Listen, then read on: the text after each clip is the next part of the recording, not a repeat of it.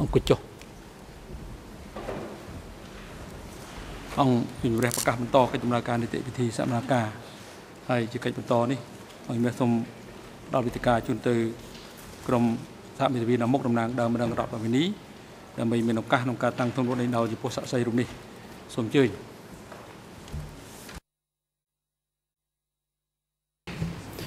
សូមគោរពលោកប្រធានលោកលោកស្រីចៅក្រម អង្គសវនាការទាំងមូលថ្វាយបង្គំព្រះសង្ឃហើយនឹងអឺអឺសាធារណជនទាំងអស់អឺលោកប្រធានមេធាវីនាមុខបានស្នើសុំថាអ្នកដែលនឹងធ្វើអន្តរាគមគឺលោកមេធាវីកឹមមេងខីហើយនឹងខ្ញុំបាទពេជ្រអង្គដែលនឹងលើកសំណួរជូនសួរចំពោះលោកសាក់សីរូបនេះហើយជាចាប់ផ្ដើមគឺលោកមេងខីនឹងអឺ ត្រូវឡើងមុនសូមលោកប្រធានអនុញ្ញាតសូមអរគុណអរជំរាបអនុញ្ញាតសូមអញ្ជើញបាទសូមគោរពលោកប្រធាន លោកលោកស្រីចៅក្រម អង្គសាវនាការទាំងមូលហើយសូមជម្រាបសួរ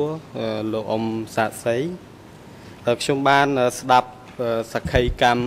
របស់លោកអ៊ំច្រើនមកហើយ តាំងពីដំបូង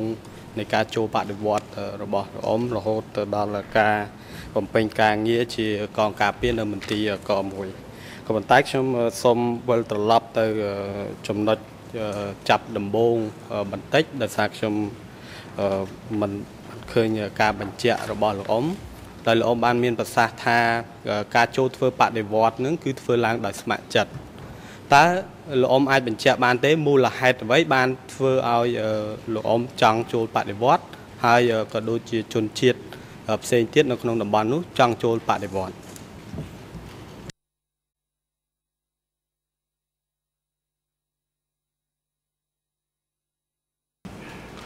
បាទពេលនោះខ្ញុំទំស្លើយព្រោះខ្ញុំជាជនជាតិភាគតិចដូចតែមិនដែលចេះអីទេម្ល៉េះហើយលើគេថាធ្វើបដិវត្តបដិវត្តតែខ្លួនខ្ញុំចង់ចូលចូលឲ្យឲ្យមានចំណេះដឹង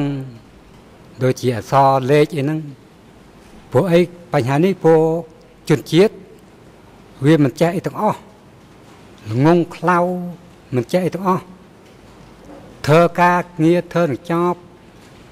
ធ្វើកម្លាំងពលកម្មដោយនឹងចប់ដោយតែខ្លួនខ្ញុំផ្ទាល់ថាលឺថាបដិវត្តបដិវត្តតែខ្លួនខ្ញុំគាត់ថាចង់ចង់ឃើញបដិវត្តទៅយ៉ាងម៉េចមួយគឺថាចង់រៀន រៀនសូត្រជាអក្សររៀនសូត្រជាអក្សរព្រោះអត់ចេះសោះនៅពេលមុនបច្ចុប្បន្នអញ្ចឹងដែរជនជាតិភាគតិចនៅខាងរតនគិរីគឺ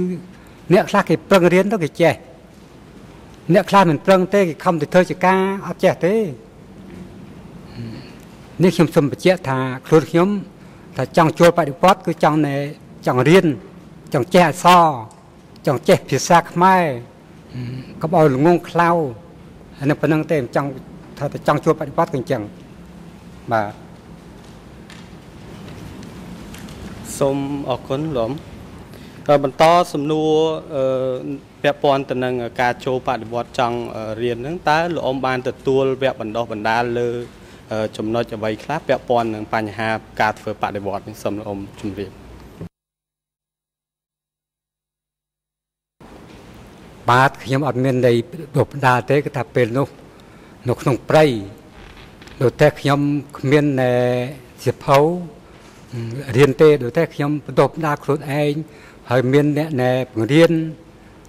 គេអ្នកចេះចេះគឺថាគេបង្រៀនយើងដល់អញ្ចឹងគឺគេបន្តផ្ដាច់យើងវិញយកខ្ជូងសរសេរនឹងពងស័យពេលនោះអត់មានអត់មានសិភៅទេអត់មានបិចទេ ដូចតែបោះផ្ដាល់ខ្លួនឯងគឺថាខំមកថាខំរៀនណាសរសេរនឹងខ្ជូងនឹងពងស័យប៉ាន់កោជើងសរសេរទៅរៀនតិចទៅដល់ផងរត់និសាផងរៀនផងអាហ្នឹងអាហ្នឹងចឹងនេះខ្ញុំមានតិចឹងបាទបាទសូមអរគុណ ចុះនៅពេលនោះគេមានបង្រៀនល្អមអំពីគោលនយោបាយបកកុម្មុយនីសកម្ពុជាដែរឬទេព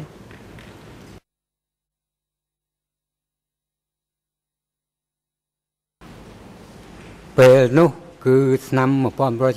1975គេបង្ហាត់បង្រៀនដែរណាគេបង្ហាត់បង្រៀនអំពីបកកុម្មុយនីសកម្ពុជាប៉ុន្តែឲ្យយល់ថានៃបកកុម្មុយនីសកម្ពុជាយ៉ាងម៉េច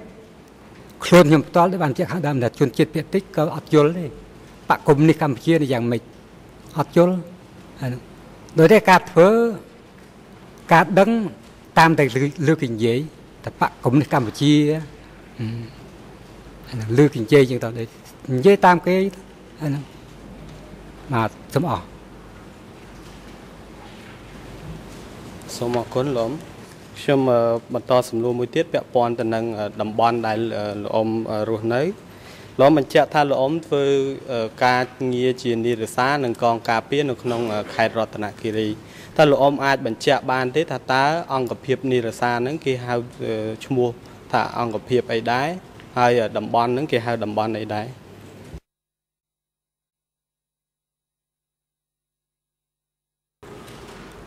បាទពេលនោះគឺថា នៅរតនគិរីគឺថាខ្លួនខ្ញុំធ្វើជានេសានេសាគឺនៅប្រធានឈ្មោះផៃអ្នកដឹកនាំឲ្យនៅផ្លេចខ្ញុំរត់នេសាពីនៅរតនគិរីទៅខាងវន្ស័យពីវន្ស័យឡើងមករតនគិរីពីរតនគិរីទៅខាងនៅហើយមណ្ឌលគិរីនេះជំរាបឲ្យត្រង់ដែលមានភារកិច្ចរបស់ខ្ញុំគឺថាជំរាបឲ្យត្រង់ជូនលោកចឹងបាទ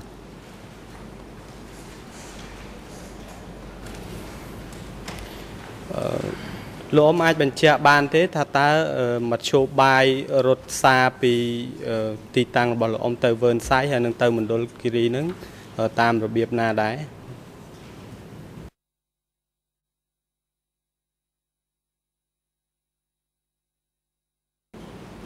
បាទពេលនោះគឺថា ការធ្វើដំណើរគឺដើរដើរជើងដេកមួយយប់ពីរយប់ពីដើរផ្លូវអញ្ចឹងទៅបានដល់នៅវនសៃ នេះគឺថាវិធីដំណើរគឺថាពីមណ្ឌលរតនគិរីទៅមណ្ឌលគិរីគឺចឹងដែរឆ្ងាយដើរជើងដេកពីដើរយប់បានព្រឹកឡើងឡើងទៀតបានដល់មណ្ឌលគិរីធ្វើដំណើរដល់ជើងហ្មងអត់មានអីជិះទេកង់ក៏គ្មានពុំមានអត់មានផ្លូវបាទតើលោកអ៊ំអាចបញ្ជាក់បានទេថាតើសារដែលពីវើនសៃទៅមណ្ឌលគិរីហ្នឹងពីអ្នកណាទៅអ្នកណាដែរ លោកអ៊ំមានដឹងជ្រាបរឿងហ្នឹងទេ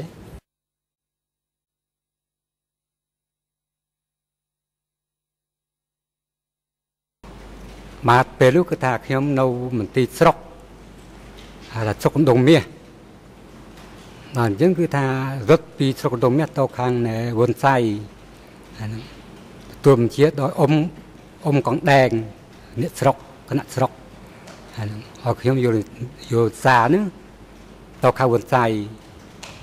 ពីនៅស្រុកដុំមាសទៅខាងមណ្ឌលការីមានកងដែងនោះជាគណៈស្រុកហៅថាស្រុកដុំមាសបាទ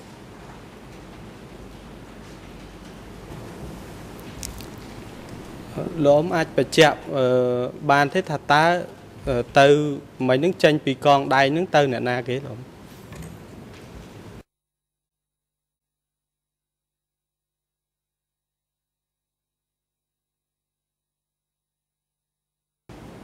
បាទពេលនោះគឺថាកាន់តែស្បត់ទេអត់អត់ចេះអត់ចេះមើលអត់ឈ្មោះគេទេស្បត់ការខ្នងអត់ចេះមើលទេនឹងជួនអ្នកណាណាអត់ដឹងទេព្រោះថាពីនៅស្រុកដងមាសទៅខៅវន្ស័យឃើញគេសរសេរមិនដឹងឈ្មោះអីព្រោះអត់ចេះអសហើយដល់អញ្ចឹងជួនទៅតាមតំណាក់និរសាគេទៅគេនេះសាទី1គេតទៅទៀតទៅអាហ្នឹងគឺអញ្ចឹងបាទសូមអរគុណលោកអ៊ំ នៅក្នុងខេត្តរតនគិរីលោកអ៊ំមានស្គាល់មន្ទីរមួយឈ្មោះថាមន្ទីរ100ដែរទេបាទពេលនោះខ្ញុំលឺលឺគេនិយាយថាមន្ទីរ100បាទ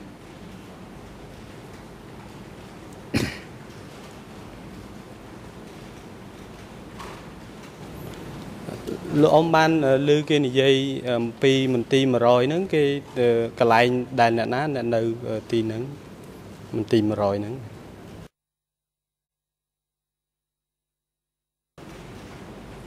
បាទពេលនេះគឺថាមន្ទីរ100ហ្នឹង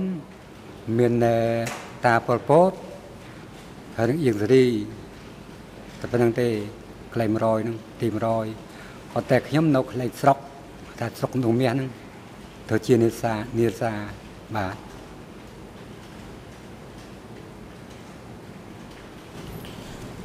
ហើយលោកអ៊ំអឺធ្លាប់ធ្វើជាកងការពារនៅមន្ទីរ100នឹងដែរឬទេបាទពេលនោះខ្ញុំមិនធ្លាប់ទេខ្ញុំនៅការពារកន្លែងនេះនៅកន្លែងនិរសាស្រុកមានផៃនេះដឹកនាំក្រុមនិរសាហ្នឹងបាទ តើនៅក្នុងឆ្នាំណា ដែលលោកអ៊ំคลายទៅជាកងការពាររបស់ប៉ុលពតលោកអ៊ំចាំបានទេបាទ បាទពេលនោះក៏ខ្ញុំចេញពីនៅនិរសាយទៅ ខ្ញុំមិនចាំថ្ងៃចាំខែទេគេដកខ្ញុំមកនៅខាងនៅ កន្លែងប៉ុលពតនៅបាទ នៅខាងរដ្ឋនគរីបាទ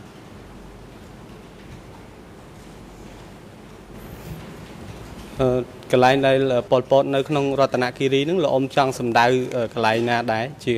ជាមន្ទីរ100ដែលខ្ញុំលើកឡើងមិញហ្នឹងឬក៏ជាកន្លែងផ្សេងទេ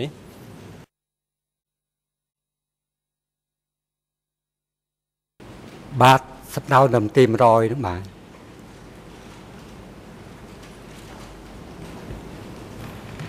ក្រៅពីមេដឹកនាំអឺប៉ុលពតអៀងសេរីតើមានមេដឹកនាំណាផ្សេងទៀតអឺចូលទៅធ្វើការឬក៏ស្នាក់នៅមន្ទីរ100នឹងដែលលោកអ៊ំបានស្គាល់ដែរឬទេបាទពេលនោះខ្ញុំអត់ស្គាល់ទេដឹកអ្នកណាអ្នកណាទេអត់ស្គាល់ទេបាទតើលោកអ៊ំអាចដឹងអឺអំពីចំនួនអឺមេដឹកនាំនៅក្នុងហ្នឹងមានអឺច្រើនអ្នកឬក៏មានតែ2អ្នកហ្នឹងទេ បាទមានតែ2នាក់ទេពេលនោះបាទអឺសូមអរគុណលោកអ៊ំអឺបន្តសំណួរមួយទៀតនៅពេលដែលអឺលោកអ៊ំអឺធ្វើជាកងការពារឲ្យអឺប៉ុលពតតើលោកអ៊ំធ្លាប់ការពារគាត់នៅពេលដែលគាត់ទៅប្រជុំសមាជនៅក្នុងអឺខេត្តអឺរតនគិរីឬក៏ខេត្តណាផ្សេងផ្សេងដែរឬទេ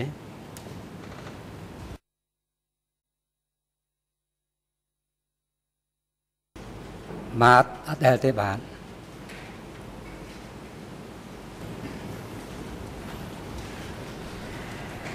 លោកអ៊ំអឺបានរៀបរាប់ពីខាងដើមថាអឺលោកអ៊ំបានការពារប៉ុលពតទៅអឺទីតាំងមួយកន្លែងដែលស្ថិតនៅអឺព្រំប្រទល់កំពង់ធំនិងកំពង់ចាមតើលោកអ៊ំអាចបញ្ជាក់បានទេ ទីតាំងនោះគេអឺហៅឈ្មោះថាជាទីតាំងអ្វីដែរហើយអឺលោកអ៊ំការពារនឹង រយៈពេលប្រមាណដែរបាទពេលនោះក៏ទីតាំងនៅកន្លែងពុទ្ធកាគឺទីតាំងនៅភូមិតពាំងទឹមនៅខេត្តកំពង់ចាមតាមដងស្ទឹងសង្កែខ្ញុំចាំប៉ុណ្ណឹងបាទ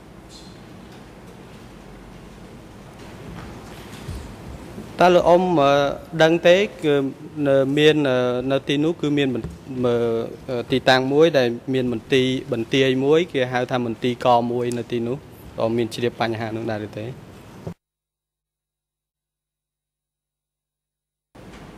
បាទខ្ញុំអត់ដឹងទេបាទ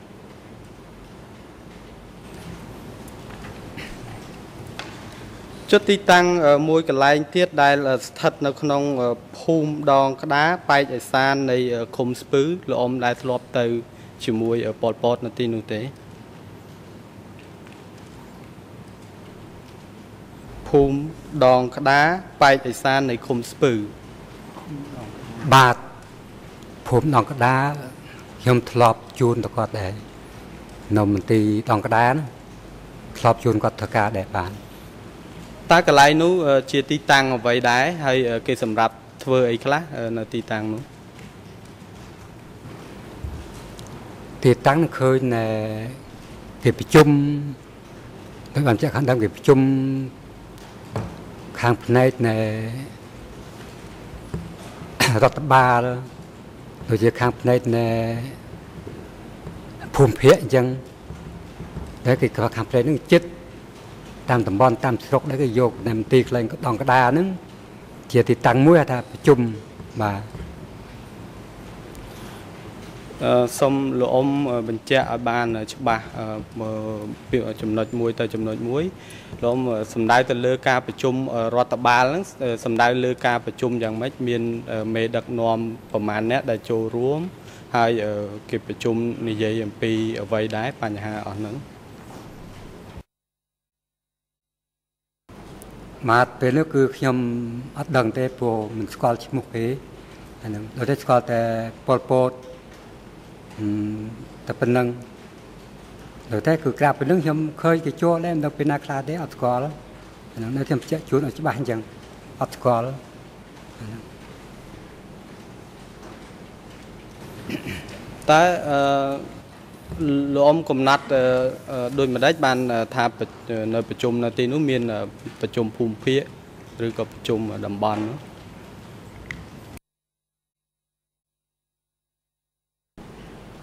ពេលនោះគឺកំណត់ថាពួកឃើញនៅប៉ង់គេបញ្ជាក់ថាឥឡូវគេមកខាងមន្ទីរភូមិដងកដាហ្នឹងគេប្រជុំខាងស្រុកនិងតំបន់អាហ្នឹង ក៏ហៅពីស្រុកតំបន់មកប្រជុំលេងមន្ទីរភូមិដងកដាហ្នឹងបាទខ្ញុំលើទៅពីប៉ង់ទេបាទអឺរាល់អឺការប្រជុំដែលលោកអ៊ំបានដឹងហ្នឹងតើមានវត្តមានរបស់លោកនួនជាលោកខៀវសំផនលោកហៀងសេរីនៅទីនោះដែរឬទេ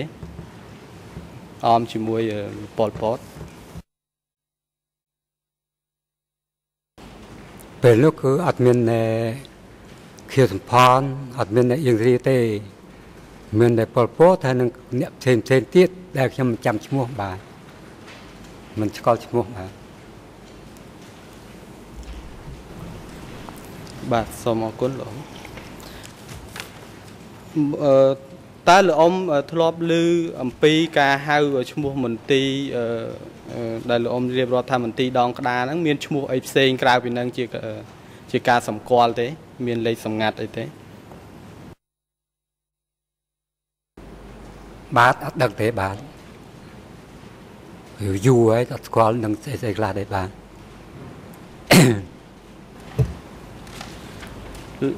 លោកអ៊ំអឺអាចបញ្ជាក់បានទេ នៅមុនពេលអឺអឺ ការចូលកាន់កាប់ទីក្រុងភ្នំពេញឆ្នាំ1975ហ្នឹងពេលណាដែលលោកអ៊ំអឺ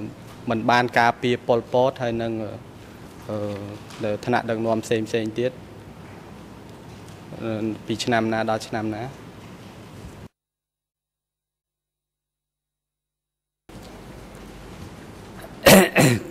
បាទខ្ញុំណែសូមបញ្ជាក់ជូនឲ្យច្បាស់ ហើយឲ្យចំដើម្បីឲ្យលោកយល់ឲ្យលោកជ្រាបភារកិច្ចរបស់ខ្ញុំគឺថាតាំងពីឆ្នាំ70មកណាតាំងឆ្នាំ70រហូតដល់75រស់នៅប៉ុលពតរហូតដល់ឆ្នាំ75រហូតដល់79 79បែកអាហ្នឹងបែកនេះខ្ញុំបញ្ជាក់ច្បាស់អញ្ចឹងបាទ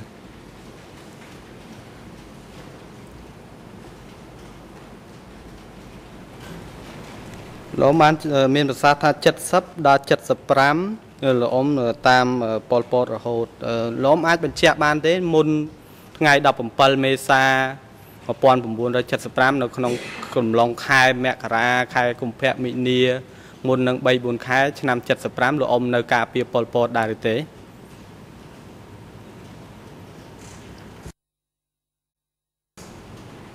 មកពេលនោះដោយបានជាហោហែមកថា ពីឆ្នាំ75បានបែកភ្នំពេញយ៉ាងទៅក៏ប៉ុលពតមកមុនដោយបានជាខាងដើមប៉ុលពតមកមុនខ្ញុំនៅក្រោយប្រហែលជាខ្លះខែពួកខ្ញុំរៀបចំអីវ៉េវ៉ាន់ទៅកំប៉ុករបស់តាប៉ុលពតខ្ញុំមកក្រោយក្រោយប៉ុលពតបាទ លោកអ៊ំអាចបញ្ជាក់បានទេថាទៅគាត់មកមុនលោកអ៊ំហ្នឹងមានន័យថាគាត់មុនពេលហ្នឹងគាត់នៅលោកអ៊ំនៅជាមួយគាត់ដែរឬក៏មិននៅជាមួយគាត់ទេហើយរៀបចំអីវ៉ាន់ហ្នឹងលោកអ៊ំសំដៅទៅលើថារៀបចំអីវ៉ាន់ពីណាមកចេញពីណាមកកាលនោះខ្ញុំរៀបចំពេលរៀបចំគឺថាក្លែងហៅថាភូមិស្ទៀងទឹម ខេត្តកំពង់ចាមអញ្ចឹងខ្ញុំរៀបចំអីវ៉ាន់គឺថាមានស្អីមានខោអាវមុងភួយរបស់គាត់ដែលប្រើប្រាស់ប្រចាំថ្ងៃដែលគាត់មកមុនទៅខ្ញុំនៅក្រោយគឺថាមុនកន្លះខែគាត់ទៅមុនកន្លះខែខ្ញុំនៅរៀបចំអីវ៉ាន់ទៅបានហើយបងបានហៅខ្ញុំចូលភ្នំពេញវិញខ្ញុំយកអីវ៉ាន់ចូលភ្នំពេញដែរបាទ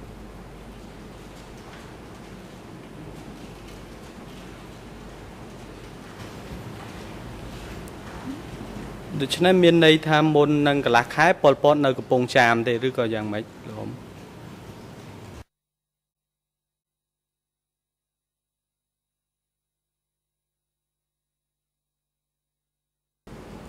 មកអត់ទេគាត់ណែបែបភ្នំពេញគាត់ចូលមកចូលចូលណែពីពងចាមចូលភ្នំពេញមក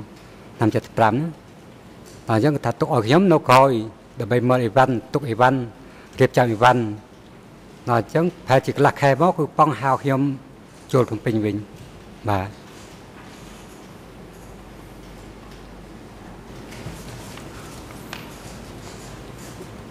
អឺខ្ញុំសូមបញ្ជាក់លោកអ៊ំថែមទៀតនៅជំវិញចំណុចនេះចង់សួរលោកអ៊ំថាតើនៅក្នុង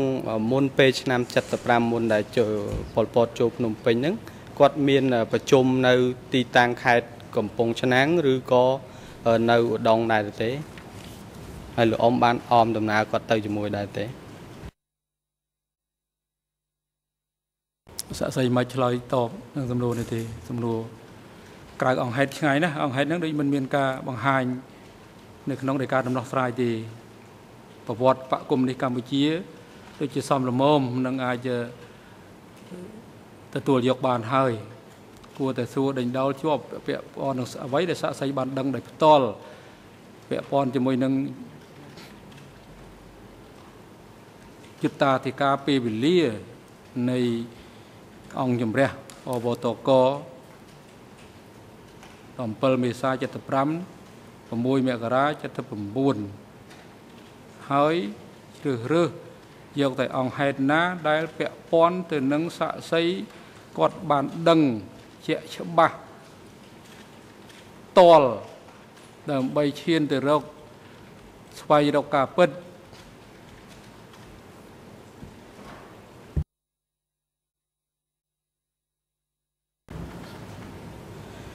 សូមសូមអរគុណលោកប្រធានក៏ប៉ុន្តែនៅក្នុងចំណុចដែលខ្ញុំសួរនេះពីព្រោះនៅក្នុងនេះគឺមានចែងនៅក្នុងមានអត់ជាអង្គហេតុមួយដែលមាន នៅក្នុងកថាខណ្ឌ899នៃដំការដីកាដំណោះស្រាយពោអង្គជំរះមិនឲ្យស្ថាប័នឆ្លើយទេព័ត៌មានពាក់ព័ន្ធជាមួយនឹងប្រវត្តិបកគមនីកម្ពុជានឹងអង្គជំរះទទួលព័ត៌មានសំលមមអាចអង្គជំរះមានមូលដ្ឋានពិចារណាហើយសូមបន្តទៅអង្គហេតុដែលពាក់ព័ន្ធទៅនឹងសាក់សីដែលបានយល់ដឹងដោយផ្ទាល់ ដើម្បីឆ្លោះបញ្ចាំងអំពីអង្គហេតុអំពីផោះតាង អំពីស្ថានភាពនានានៃរឿងក្តីអង្គជំរះមិនត្រូវការស្ដាប់ចម្លើយតបរបស់មេធាវីរបស់សាក់សីឆ្លើយតបនឹងសំណួរដែលលោកសួរចុងក្រោយបាញ់មិញនេះទេលោកមានទំនួផ្សេងលោកតាំងសំណួរបើអស់សំណួរបកគលឲ្យអ្នកដតីបន្ត សូមអរគុណលោកប្រធានខ្ញុំសូមបន្តសំណួរទៅលោកអ៊ំសាក់សីអឿនតាន់ជាបន្តទៀតអឺលោកអ៊ំជ្រាបទេអំពីរឿងជំនះប្រជាជនចេញពីទីក្រុងភ្នំពេញ នៅពេលដែលលោកអ៊ំនៅកំពង់ចាមនោះបាទខនេះខ្ញុំបានឆ្លើយហើយគឺថាពេលរំដោះភ្នំពេញខ្ញុំនៅកំពង់ចាមនោះអាហ្នឹង ដល់នៅប៉ងខៅមកខ្ញុំបានរៀបចំអីវ៉េវ៉ាន់ដូចបើយ៉ាងទៅមកថារៀបចំអីវ៉េវ៉ាន់ប៉ងគេហៅខ្ញុំចុះមកចុះមកគឺថាចូលភ្នំពេញគឺស្ងាត់ខ្ញុំអត់ដឹងណាជំរះណាជំរះទេគាត់គាត់ឃើញស្ងាត់ស្ងាត់ហ្មងនេះខ្ញុំជុំបញ្ជាក់អញ្ចឹងសំទោសប្រហែលជាខ្ញុំសួរសំណួររៀងពិបាកយល់បន្តិចខ្ញុំសូមបញ្ជាក់សំណួរឡើងវិញ គឺថាតើលោកអ៊ំមានឃើញ ការជំលះប្រជាជនពីទីក្រុងភ្នំពេញប្រជាជនចេញពីភ្នំពេញហ្នឹងទៅដល់កន្លែងដែលលោកអ៊ំនៅស្នាក់នៅ នៅកំពង់ចាមដែរឬទេបាទ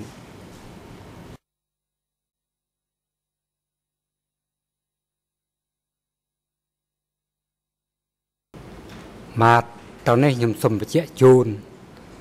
ពីការជំនះប្រជាជន ដោយបញ្ជាក់ខាងដើមថាខ្ញុំអត់ដឹងទេព្រោះខ្ញុំនៅកំពង់ចាមនោះអាហ្នឹងគេជំនះប្រជាជនតាមខេត្តតាមភូមិភាគអីផ្សេងផ្សេងខ្ញុំមិនដែលដឹងទេអ្នកដូចតែដូចបញ្ជាក់ខាងដើមថាពេលខ្ញុំចូលភ្នំពេញឃើញតែស្ងាត់ហ្មងអត់មានមនុស្សម្ល៉េះបានថាអ្នកណាជំរះអ្នកណាជំរះខ្ញុំមិនដឹងទេគាត់គាត់ថានៅពងចាមនោះបាទអរគុណសាក់សីហើយសំសាក់សីស្ដាប់សំណួរ អ្នកសួរឲ្យបានច្បាស់ហើយឆ្លើយត្រឹមតែកម្រិតសំណួរដែលសួរបានហើយប្រសិនបើសួរថាកាលពីលោកនៅខេត្តកំពង់ចាមហ្នឹងលោកបានទទួលដំណឹងដឹងថាមានប្រជាជនជំនះចេញពីទីក្រុងភ្នំពេញទៅដល់ទីកន្លែងដែលលោកធ្វើការដែរអត់បើលោកថាមិនដឹងទេឆ្លើយថាមិនដឹងទៅចប់ហើយព្រោះសំណួរផ្សេងទៀតពាក់ព័ន្ធនឹងដល់រាជធានីភ្នំពេញអញ្ចឹងអត់មានសំណួរសួរលោកទេឆ្លើយតបឲ្យចំនឹងសំណួរដែលសួរបានហើយ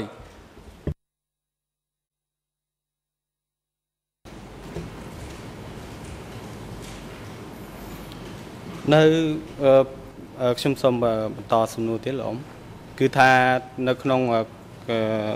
ពេលដែលលោកអ៊ំធ្វើជាកងការពារចាប់ពីពេលដែលលោកអ៊ំចូលមកមន្ទីរកមួយនៅទីក្រុងភ្នំពេញហ្នឹងតើលោកអ៊ំបានដឹងទេថាមានពេលណាមួយដែលប៉ុលពតធ្លាក់ខ្លួនឈឺជាទម្ងន់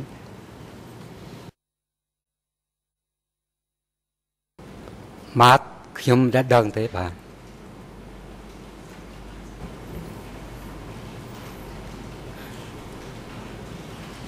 តើតើនៅក្នុងចន្លោះឆ្នាំនៅក្នុងថ្ងៃ27ខែកញ្ញា ឆ្នាំ1976មាន គេប្រកាសសេចក្តីប្រកាស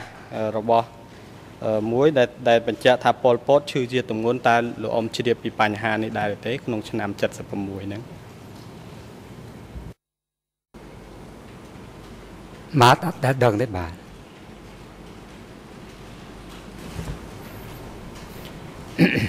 ដូច្នេះប៉ុលពតមិនដែលឈឺជាទម្ងន់ឬក៏ធ្លាប់ឈឺជាទម្ងន់លោកអមសុំបញ្ជាក់នៅក្នុងសម័យកម្ពុជាប្រជាធិបតេយ្យហ្នឹង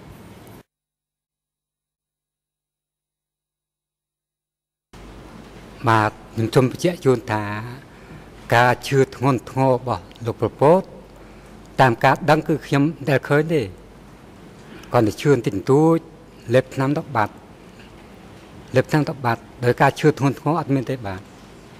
ខ្ញុំជឿជូនច្បាស់យ៉ាងបាទ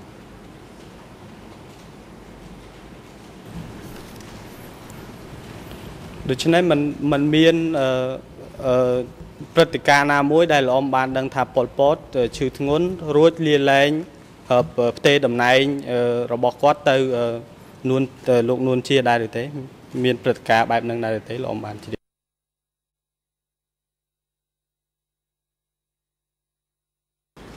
បាទខ្ញុំ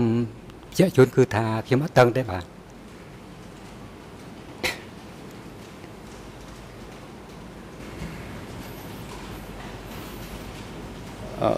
ដូច្នេះ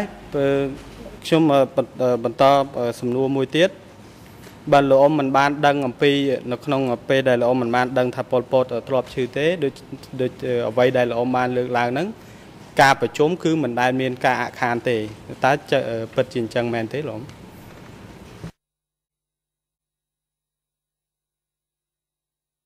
ចាំចាំឧបករណ៍ប្រតិបត្តិការសំឆ្លើយសាក់សី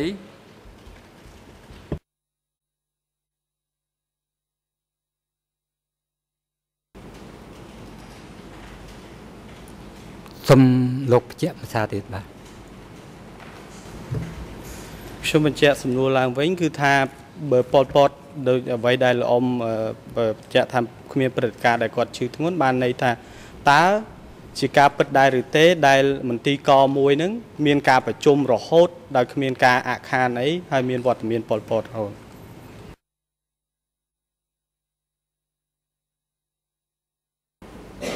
ពេលនោះគឺតាមក្តាប់បាតគឺថាគាត់មិនឈឺអីធ្ងន់ធ្ងរគាត់ នៅធ្វើការបានគាត់ធ្វើជាការងាររហូត ការប្រជុំការអី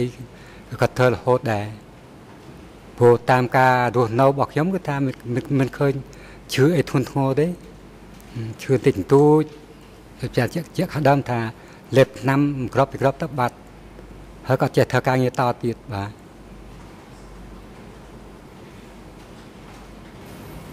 សូមអរគុណលោកខ្ញុំបន្តសំណួរមួយទៀត ពាក់ព័ន្ធទៅនឹងទូរលេខលោកបានឆ្លើយច្រើនហើយអំពីការបញ្ជូន និងការទទួលទូរលេខប៉ុន្តែលោកអ៊ំអាចបញ្ជាក់បានទេថាតើនៅពេលដែលលោកអ៊ំទទួលទូរលេខហ្នឹងលោកអ៊ំដឹងថាតើទូរលេខហ្នឹងប្រភពមកពីខាងណាដែរដែលជូនទៅប៉ុលពតហ្នឹង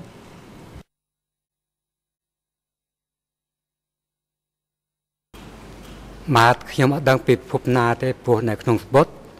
គេដាក់ក្នុងស្រោម ហើយគេការខ្នងយ៉ាងទៅដល់តែគេថាមកពីប្រភពណាខ្ញុំដែលដឹងទេបាទ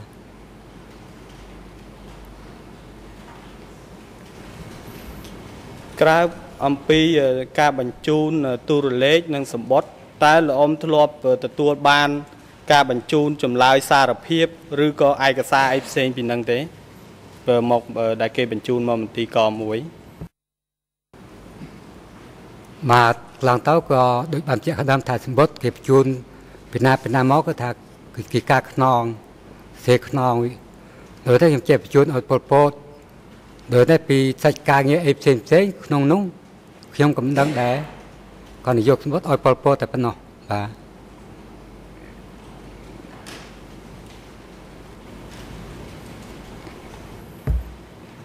បាទ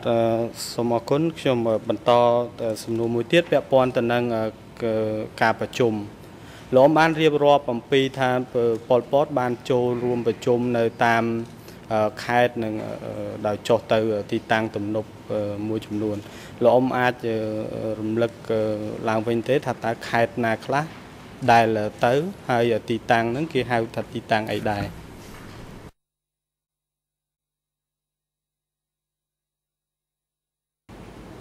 បាទបញ្ហាដែលបានបញ្ជាក់ខាងដើមហើយមុនគឺថាការប្រជុំតាមខេត្តតាមតំបន់ដែលបានជម្រាបថាហៅថាចុះតំបន់ធៀមរៀបគឺប្រជុំក្នុងគណៈតំបន់ធៀមរៀបនឹងហើយការណែនាំអីអីគឺពិភាក្សាបញ្ហាអីខ្ញុំមិនដែលដឹងទេព្រោះបញ្ហាគឺដោយបានជាក់ខ្ញុំថា កងការពារនៅឆ្ងាយពីកន្លែងធ្វើការ គាត់ដឹងថាដល់ពេលប្រជុំហើយគាត់ចុះទៅណាគាត់ចុះទៅកន្លែងតប្លាយចុះកន្លែងទំនប់បានខ្ញុំថាយល់អូថាកន្លែងគេណែដឹកនាំប្រជុំណែនាំបញ្ហាទំនប់ប្លាយនេះឯងតែមើលគឺចេះតែគឺចឹងគឺប្រជុំហើយគេថាចុះទៅកន្លែងប្លាយទំនប់អាហ្នឹងបានខ្លួនយល់ថា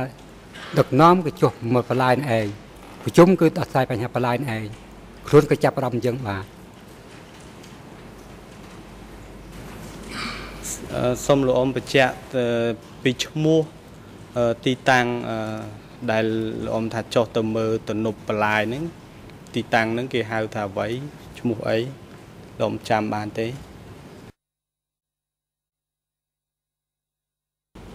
មកទីតាំងបលាយទំនប់ហ្នឹងខ្ញុំអត់ចាំទេវាយូរហើយនឹងនឹងឈ្មោះអីខ្លះឬគាត់ថាដឹងថាគេធ្វើទំនប់ធ្វើបលាយប៉ុន្តែថាបលាយស្អីទំនប់អីខ្ញុំ ស្ដាប់បានដែរភ្លេចអស់យូរហើយបាទអត់ចាំ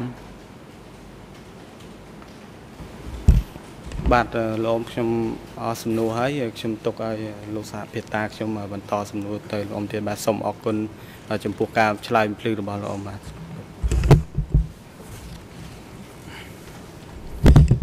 បាទសូមគ្រប់លោកលោកស្រីចាក្រមនឹងអង្គសវនាការទាំងមូលអឺ ខ្ញុំមានសំណួរមួយចំនួនដែលនៅក្នុងនោះ3សំណួរដំបូងគឺបញ្ជាក់អំពីទីតាំងនៅកំពង់ធំហើយនៅកំពង់ចាមដែលហាក់ដូចជាពុំសូវមានភាពច្បាស់លាស់អឺលោកអ៊ំបានមានប្រសាសន៍អំពីដងក្តារតើដងក្តារនេះ គឺជាឃុំដងក្តារឬក៏ជាភូមិដងក្តារ តើស្ថិតនៅខាងណានៃស្ទឹង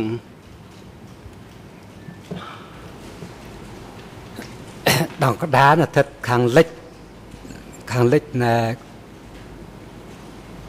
ដងស្ទឹងខាងលិចដងស្ទឹងបាទតើភូមិដងក្តារនេះឬក៏ឃុំដងក្តារនេះនៅចិត្តឃុំស្ពឺដែរឬទេម៉ាតខ្ញុំដែលស្គាល់ទេបាទបាទបាទ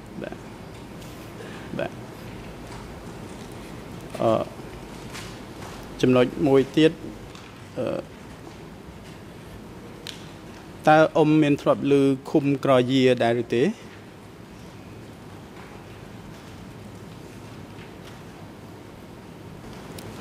ម៉ាតលឺលឺគាត់និយាយថាឃុំកយាកយាតែតែអត់ដែលទៅដល់គាត់នៅលើកនិយាយថាឃុំកយាដងកយាដងក្តារកយាដងក្តារណាតើដងក្តារកយាដែលអ៊ំមានប្រសាសន៍បំបញ្ញមិញគឺដងក្តារដែល អ៊ំបាននិយាយនោះឬក៏យ៉ាងម៉េច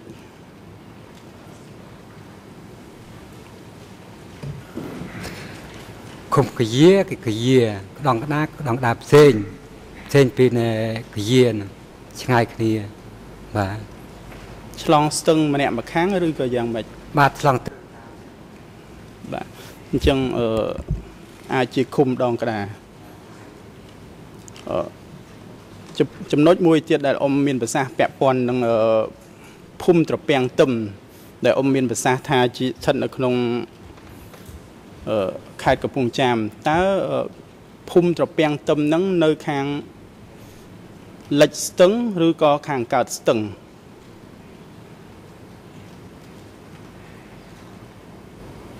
បាទកន្លែងណែមន្ទីរនៅពីងទឹមភូមិទៅពីងទឹមនៅខាងលិចស្ទឹង ប៉ុន្តែកន្លែងកន្លែងខ្ញុំនៅនៅខាងកើតស្ទឹងបាទបាទបាទអញ្ចឹងអ៊ំមានស្គាល់ឃុំបឹងលវាដែរឬទេ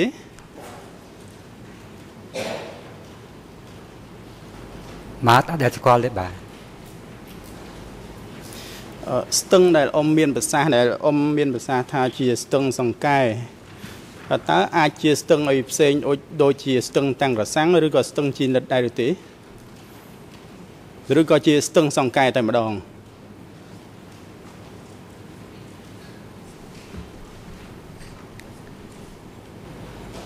បាទខ្ញុំជំបញ្ជាក់ជូនថាស្ទឹងមិនទឹងសែនទេនៅស្ទឹងស្កែទេទឹងសែនតាមដងស្ទឹងសែនអាចជាស្ទឹងជីនិតដែរទេឬក៏ស្ទឹងសែនទឹងសែន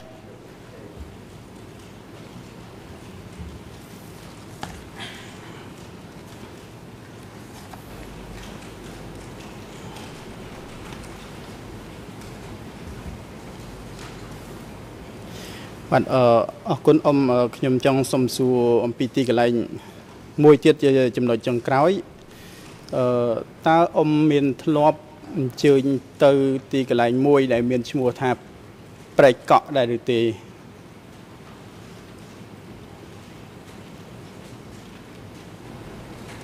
បាទខ្ញុំអត់ដែលទេបាទធ្លាប់ឮដែរទេអ៊ំអត់បាទអញ្ចឹងសូមអរគុណអ៊ំ ខ្ញុំនឹងចូលទៅដល់សំណួរពាក់ព័ន្ធទៅនឹងដែនយុទ្ធាធិការនៃអឺពេលនៃពេលវេលានៃរបស់តុលាការអឺសូមគ្រប់លោកប្រធានខ្ញុំសូមលោកប្រធានអនុញ្ញាតបង្ហាញឯកសារមួយ ដែលជាកំណត់ហេតុនៃការសម្ភាសរបស់លោកសាក់សីអឿនតាននេះ ដែលមានលេខ អឺ3អឺលើ33លេខ ERN ជាភាសាខ្មែរ0023 18 09 ERN ជាភាសាអង់គ្លេស00 23 51 34 EAN ជាភាសាបារាំង0023 5339ដើម្បីអឺសួរបញ្ជាក់គាត់បន្ថែមឲ្យភ្លឺលើចំណុចនៅក្នុងអឺកំណត់ហេតុនេះសូមលោកប្រធានអនុញ្ញាតហើយខ្ញុំមានឯកសារដើម្បីបកគលជូនអឺលោកសាក់សីប្រសិនបើលោកសាក់សីត្រូវការអង្គជំនះអនុញ្ញាតហើយសាក់សីអាចអានអក្សរបានទេ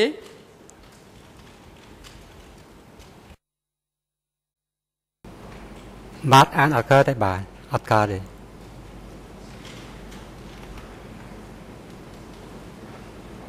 អង្គជំនះអនុញ្ញាតឲ្យលោកយកឯកសារនោះមកសួរដេចដោលសាក់សីបានហើយនឹងឲ្យជំនួយការបង្ហាញឯកសារនៅលើអេក្រង់កុំព្យូទ័រនិងទូរទស្សន៍តែមិនចាំបាច់ផ្ដល់ឯកសារជាกระดาษឲ្យទៅសាក់សីទេព្រោះពួកសាក់សីបានបង្ហាញច្បាស់ហើយថាគាត់មិនចេះអានអក្សរទេចេះចេះតិចតួចមានកម្រិតទាបណាស់ បាទសូមអរគុណលោកប្រធានអឺនៅផ្នែកខាងលើនៃទំព័រដូចខ្ញុំបានជម្រាបជូននោះគឺអឺមន្ត្រីនៃការិយាល័យសហចៅក្រមស៊ើបអង្កេត បានសួរលោកថា ក្រោយបែកភ្នំពេញ នៅខែមេសាឆ្នាំ1975តើលោកមានដឹងថាមានការប្រជុំធំដែរឬទេ រវាងមេដឹកនាំខ្មែរក្រហម លោកអ៊ំបានមានប្រសាសន៍ថាខ្ញុំឃើញមានការប្រជុំច្រើន តែមិនដឹងថាគេប្រជុំអំពីអ្វីខ្លះនោះទេកន្លែងនេះអឺអឺខ្ញុំចង់សុំសួរអ៊ំពាក់ព័ន្ធទៅនឹងបន្ទាប់ពីបាយភ្នំពេញភ្លាមភ្លាមឆ្នាំ75មានដែលអ៊ំមានប្រសាសន៍ថាមានការប្រជុំច្រើននោះតើអ៊ំចង់និយាយអំពីការប្រជុំហ្នឹងនៅទីកន្លែងណា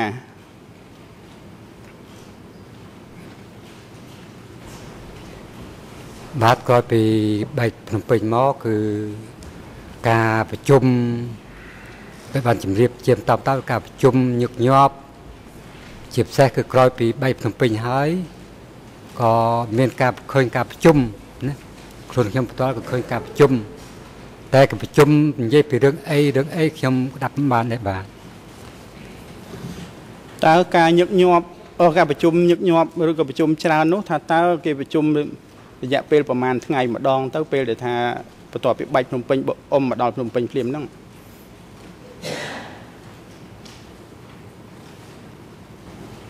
បាទការប្រជុំថាថាញឹកញាប់នោះគឺថាដោយបានបញ្ជាក់ខាងដើមខ្លះមកថាជួនណាមួយថ្ងៃប្រជុំមួយថ្ងៃអញ្ចឹងទៅជួនណាមិនចាប់មួយថ្ងៃទៅក៏បន្ត2ថ្ងៃទៅ3ថ្ងៃទៀតទៅនេះតាមការជាក់ស្ដែងមកឃើញរបស់ខ្ញុំអញ្ចឹងបាទ តើអឺការប្រជុំដែលអ៊ំចង់លើកឡើងនេះគឺជាប្រជុំក្នុងរយៈពេលដែលអ៊ំទៅតែមកដល់ភ្នំពេញភ្លាមឬក៏អ៊ំសំដៅទៅលើការប្រជុំដែលមានរយៈពេល3 4 5ខែក្រោយពីពេលនោះ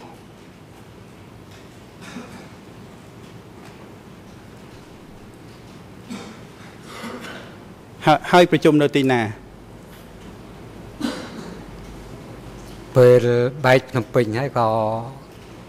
ដោយអញ្ជាក់ក្តាមថាខ្ញុំបានចុះមកភ្នំពេញ គឺឃើញការប្រជុំញឹកញាប់គឺប្រជុំនៅកន្លែងកមួយនៅកមួយដោយបានជាក់ហើយថាការទីជាទីកន្លែងការប្រជុំរបស់តាប្រពោតបាទអឺខ្ញុំចាប់អារម្មណ៍អំពីរយៈពេលប្រជុំដែលភ្លាមភ្លាមបន្ទាប់ពីពេលបែកហ្នឹងហើយដែលអ៊ំបានដឹងហ្នឹងថាតើ អ្នកណាខ្លះដែលមកប្រជុំនៅកមួយជាមួយនឹងលោកប៉ុលពត នៅពេលដែលអ៊ំមកដល់ភ្លាមភ្លាមនៅកមួយហ្នឹង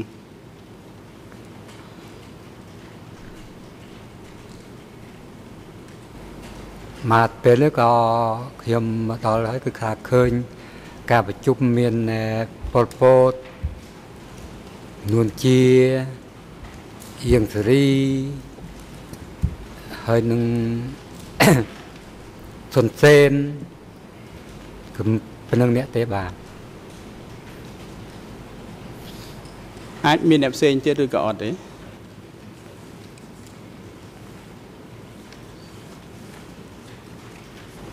បាទអត់មានឃើញទេបាទបាទសូមអរគុណលោកអ៊ំ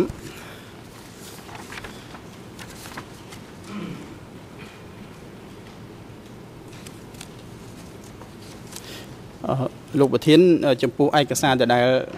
ដែលខ្ញុំសូមអនុញ្ញាតដើម្បីអាននៅក្នុងទំព័រមួយដែលមានលេខ ERN ជាភាសាខ្មែរ0023 1807ជាភាសាខ្មែរជាភាសាអង់គ្លេស00 23 51 32ដល់33ភាសាបារាំង00 23 53 37ដល់38 សូមលោកប្រធានអនុញ្ញាតឲ្យខ្ញុំអានហើយនឹងមន្ត្រីជំនួយការបញ្ចាំងឯកសារនេះក្នុងអេក្រង់សូមអនុញ្ញាតលោកប្រធានឲ្យមានអនុញ្ញាត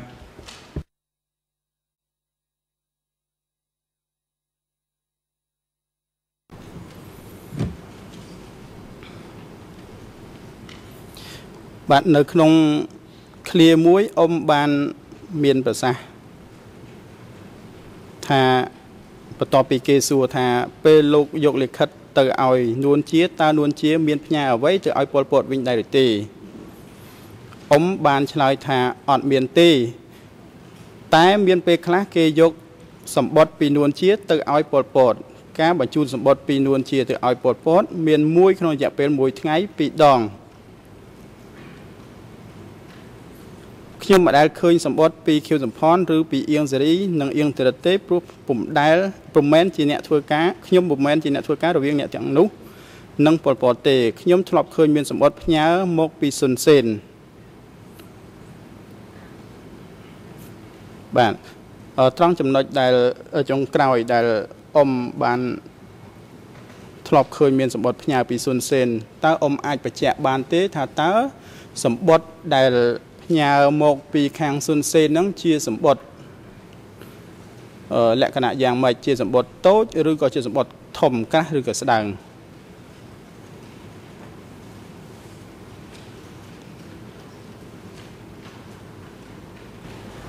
បាទខ្ញុំសូមឆ្លើយនៅចំនួននេះសម្បត្តិមកពីសុនសេនគឺសម្បត្តិតូចមួយ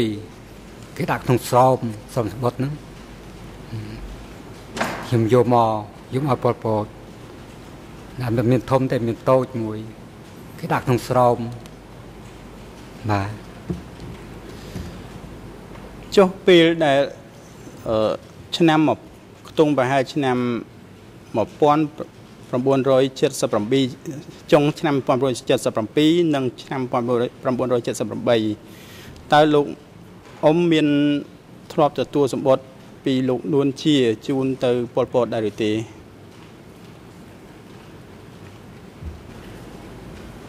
បាទដែលដែលពីប៉ុលពតជូននួនជា ពីនួនជាក្លែងនួនជាគេជូនមកប៉ុលពតវិញដែលឃើញបាទតើសម្បត្តិនោះជាសម្បត្តិ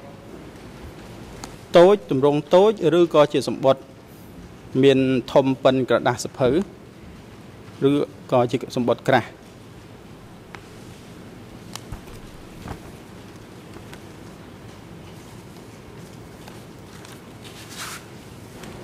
បាទឃើញនឹងស្រោមគឺស្រោមធំហើយក្រាស់គេសេខ្នងថាជួនប្រពតអញ្ចឹង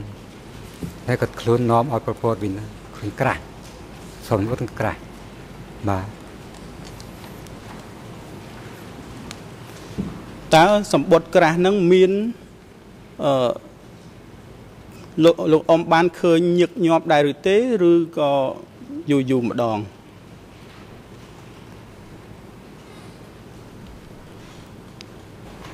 មកពេលនោះខ្ញុំឃើញតែយូរយូរម្ដងយូរយូរម្ដង ពេលខ្លះអត់ញប់ទេពេលខ្លះស្មុតមានស្ដើងពេលខ្លះអាចស្មុតក្រាស់គឺថាយូរបានចេញម្ដងបាទតែអ៊ំមានដឹងទេថាសម្បត្តិក្រាស់ហ្នឹងគឺមកពីប្រភពខាងណា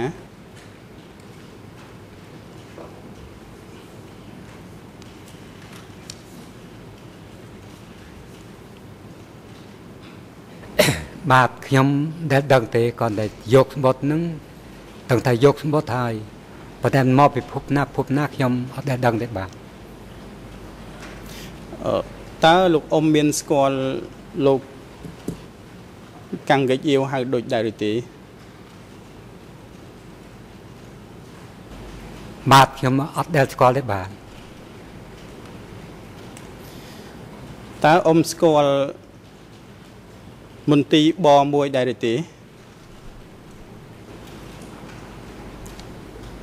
បាទទីបមួយធ្លាប់ដឹងបាទតើលោកប៉ង់ធ្លាប់មានទំនាក់ទំនងអ្វីខ្លះជាមួយនឹងមន្ទីរបមួយដែរឬទេ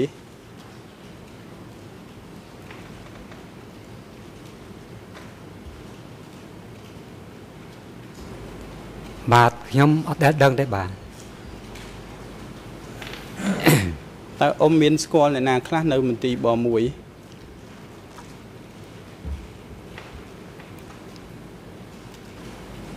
បាទខ្ញុំពួកខ្ញុំនៅកមួយអាកន្លែងបមួយដូចតែខ្ញុំអត់ស្គាល់អត់ស្គាល់ទេបាទតើអ៊ំមានស្គាល់លោកសួហុងដែរឬទេ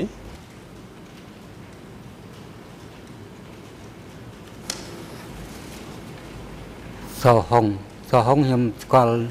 តែឮតែឈ្មោះបាទឮតែឈ្មោះ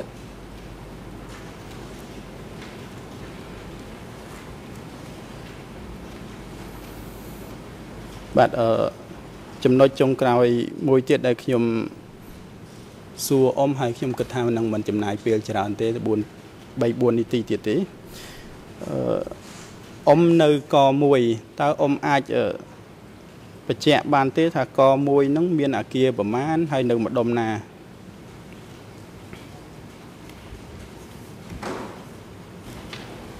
បាទខ្ញុំសូមបញ្ជាក់ជូនណែកមួយ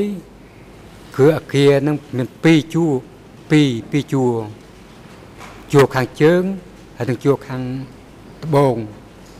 ជាប់មាត់លេភាសាបាទខ្ញុំបញ្ជាក់ជូនប៉ុណ្ណឹងបាទ នៅខាងណាអាគារ building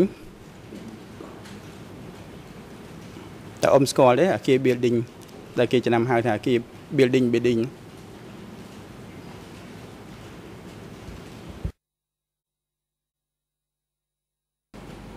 បាទខ្ញុំអត់តែស្គាល់ទេបាទបាទសូមគ្រប់លោកប្រធានខ្ញុំអស់សំណួរហើយសូមអរគុណ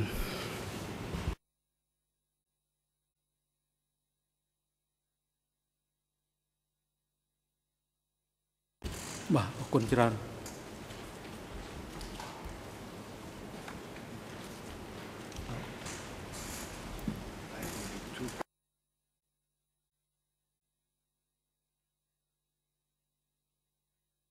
បាទតើលោកលោកត្រីចក្រមមានសំណួរអ្វីចង់សួរដល់សាស័យរូបនេះដែរឬទេបើសិនមានសូមអញ្ជើញសូមអញ្ជើញលោកចក្រមសង្មាក់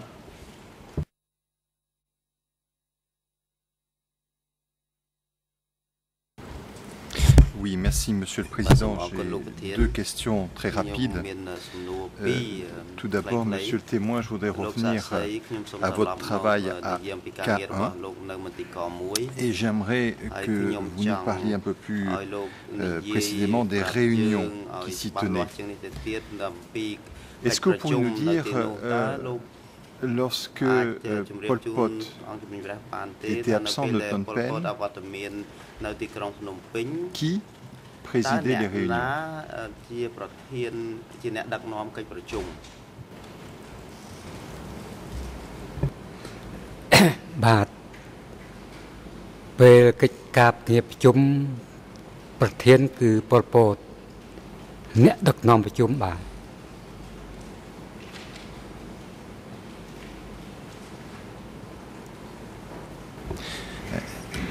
Est-il arrivé que Pol Pot ne soit Ah, pas présent parce euh, qu'il a pu euh, voyager à l'étranger Et dans ces circonstances-là,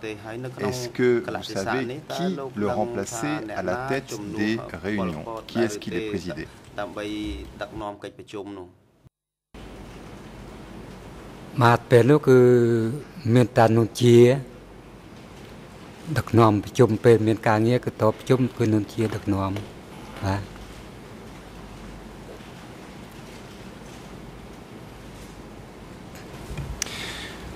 Je voudrais également revenir sur ce que nous avez dit à propos des télégrammes.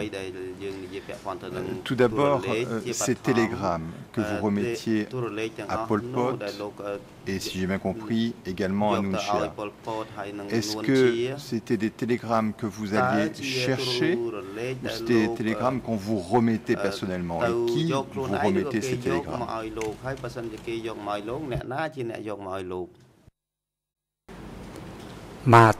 ខ្ញុំសូមបញ្ជាក់ជូនថាពេលសារទូរលេខដែលបញ្ជាក់ខាងដើមថាកលែងផង់ហើយនឹងយោនៅពយោនឹងផង់ហ្នឹងគឺចាត់ចែងឲ្យកូនចៅគាត់កុមារកុមារតូចៗនឹងជូនមកដល់កន្លែងខ្ញុំដល់ដល់កន្លែងខ្ញុំហើយខ្ញុំជូនឲ្យពលពតវិញបាទ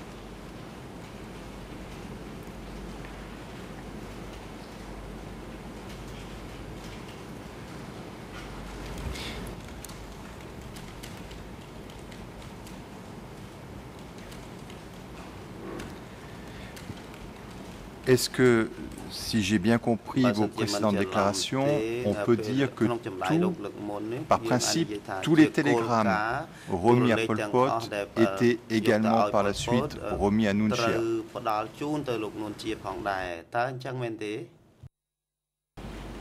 បា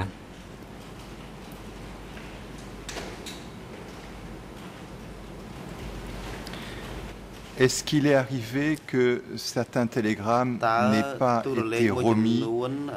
à leur destinataire par négligence? Est-ce que ça a pu arriver?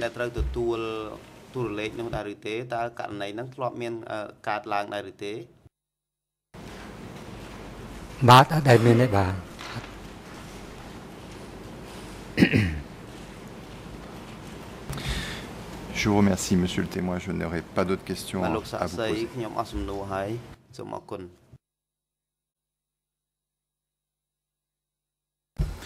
លោកអ៊ុនតានយើងមានពី3សំណួរចង់សួរលោកលោកបានឆ្លើយបញ្ជាក់កាលពីព្រឹកមិញហើយថាអឺឈ្មោះប៉ងជាប្រធានមន្ទីរ870 តើប្រធានមន្ទីរ870និងមន្ទីរកមួយនឹងខុសគ្នាយ៉ាងដូចម្ដេច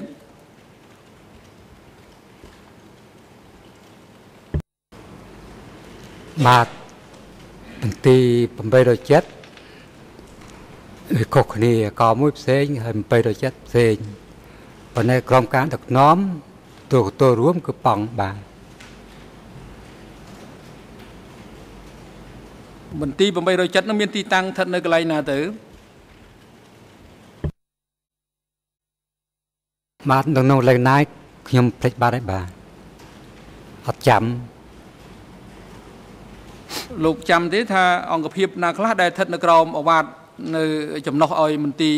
870មកពេលនោះគឺមានតាមផ្នែករកអំ7រក3 កមួយហើយណែមានប៉ុណ្ណឹងខ្ញុំមិនចាំអត់ទេបាទភ្លេចបាត់កោការចងចាំតាមដែលលោកដឹងហ្នឹងគឺលោកបានឆ្លើយព្រឹកមិញហើយថាឈ្មោះប៉ង់ជាប្រធានមន្ទីរ870អញ្ចឹងពិតមែនដែរទេ បាទពិតមែនទេបាទលោកបានឆ្លើយប្រឹងមិញថាមកប៉ង់ហ្នឹងក្រោយមកបាត់ខ្លួនហើយការបាត់ខ្លួនប៉ង់ហ្នឹងនាំឲ្យលោកមានការភ័យខ្លាចផងដែរតើអញ្ចឹងពិតមែនដែរទេបាទលោកខ្ញុំក៏ក្រោយពីឃើញបាត់ប៉ង់ក៏ខ្លួនចេះឆ្ងល់ទាំងអមជាជឿចេះឆ្ងល់បាត់ មួយថ្ងៃពីរថ្ងៃបាត់4ថ្ងៃបាត់អត់ឃើញមកធ្លាប់ដល់គឺព្រឹកតបមកតបមកចូលមកតើអញ្ចឹងខ្លួនតល់ក៏ចេះតែសង្ស័យរៀមនឹងបតនាទេបងធ្លាប់រាល់ថ្ងៃចេញចូលចេញចូលលប់បាត់ទៀតនឹងតនាទេនេះនេះកាយវិភាគរបស់ខ្ញុំប៉ុន្តែការភ័យការខ្លាច ភ័យខ្លះអត់ខ្លះទៅគឺប្រឹងធ្វើការតែប៉ុណ្្នឹងទេហើយនេះខ្ញុំសូមអន្តៈប៉ុណ្្នឹងបាទអរគុណហើយចាប់ពីពេលដែលប៉ងបាត់ខ្លួនហ្នឹងលោកចាំទេការបាត់ឆែតពេលវេលានៅក្នុងឆ្នាំណាដែរប្រហែលនៅក្នុងឆ្នាំណាដែរម៉ាតខ្ញុំអត់ចាំទេបានក្រោយពេលប៉ងបាត់ខ្លួនទៅតើអ្នកណាឡើងតំណែងធ្វើជាប្រធានមន្ទីរ807ជំនួសប៉ងម៉ាតក្រោយពីបាត់ខ្លួនប៉ងមកក៏ថាមានកែនហាវលីនបច្ចុប្បន្នក៏ស្លាប់បាត់ហើយបាទបាទអរគុណហើយនៅក្នុងមន្ទីរ807ហ្នឹង តើមានការប្រជុំជីវភាពអតិទានស្វ័យអតិទានធ្វើទៀងទាត់ដែរឬទេនៅក្នុងអង្គភាពរបស់លោក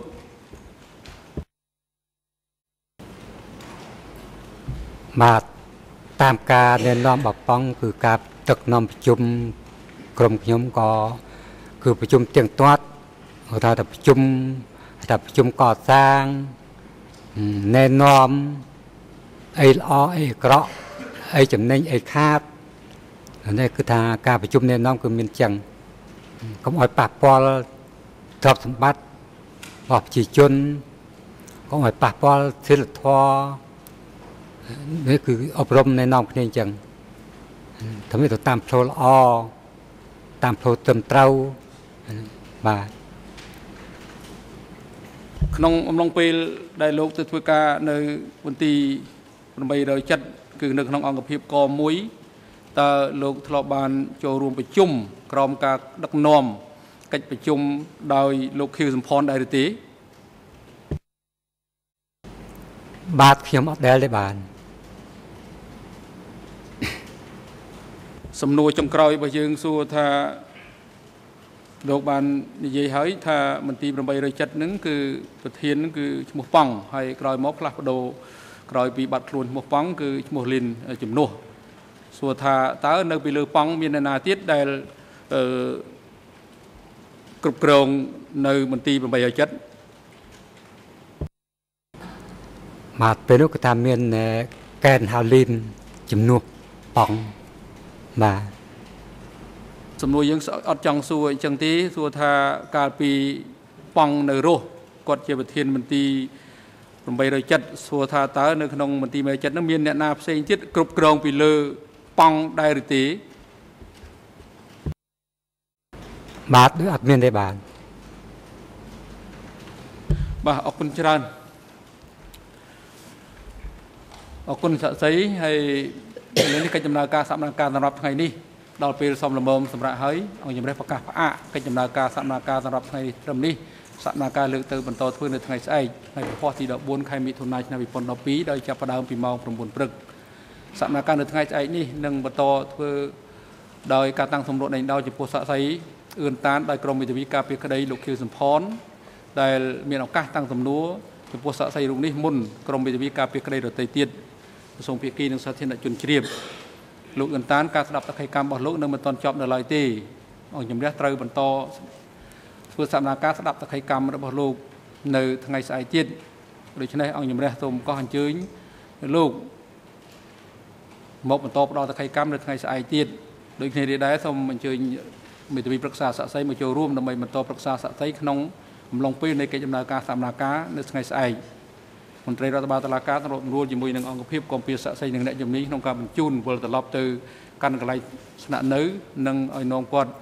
មកត្រឡប់មកកាន់កន្លែងប្រតិកម្ម សក្ខីកម្មនៅក្នុងបន្ទប់សម្ដែងការនេះវិញនៅព្រឹកថ្ងៃស្អែកនៅវេលាម៉ោង9ហើយប្រកបឲ្យអនុរិយមន្ត្រីគុំខាំងនាំខ្លួនជនជាប់ចោតទាំង3រូបទៅកាន់មន្ទីរគុំខាំងនៃអវតកវិញហើយនឹងឲ្យនាំខ្លួនពួកគាត់ត្រឡប់មកកាន់បន្ទប់សម្ដែងការនេះវិញនៅព្រឹកថ្ងៃស្អែកបានមុនម៉ោង9ដោយឡែកលោកអៀងសេរីប្រសិនបើគាត់បង្ហាញចំហច្បាស់លាស់ក្នុងការលះបង់សិទ្ធិចូលរួមដោយផ្ទាល់ក្នុងបន្ទប់សមាការដោយសូមនៅបន្តតាមដានកិច្ចដំណើរការសមាការពីចម្ងាយតាមរយៈពាក្យសុំលះបង់សិទ្ធិចូលរួម ផ្ទាល់ក្នុងដំណើរការសមាការជាលិលាអសរមកអង្គជំរះបានមុនពេលអង្គជំរះចាប់ផ្ដើមដំណើរការសមាការនៅម៉ោង9ព្រឹកនោះអង្គជំរះឲ្យអនុរិយមន្ត្រីឃុំឃាំងតំណាក់តំណងទទួលព័ត៌មានពីកលាមជីសមនាការនិងបង្កប់ឲ្យនាំខ្លួនគាត់មកត្រឹមតែបន្ទប់ឃុំខ្លួនមួយដែលរៀបចំឧបករណ៍សោទស្សន៍សម្រាប់គាត់តាមដានកិច្ចដំណើរការសមាគមការពីចម្ងាយ